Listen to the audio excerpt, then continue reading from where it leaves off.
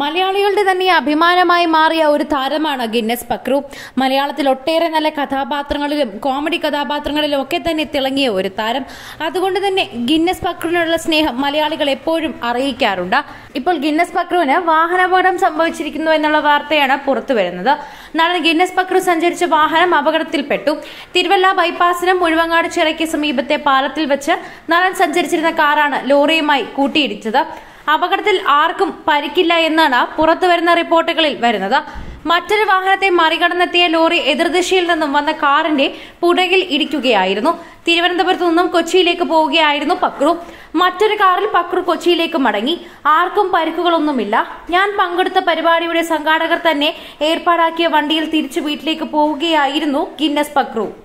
ഇപ്പോൾ എന്തായാലും അദ്ദേഹത്തിന്റെ ആരോഗ്യനില മെച്ചപ്പെട്ടിട്ടുണ്ടെന്നും അദ്ദേഹം തന്നെയാണ് ഇക്കാര്യങ്ങളൊക്കെ തന്നെ പ്രതികരിച്ചെത്തിയിരിക്കുന്നതും. എന്തായാലും അദ്ദേഹത്തിന്റെ ആരോഗ്യനില കൂടുതൽ മെച്ചപ്പെടട്ടെ എന്നും വേഗം തന്നെ സുഖം പ്രാപിക്കട്ടെ എന്നുമാണ് മലയാളികൾ ആഗ്രഹിക്കുന്നത്.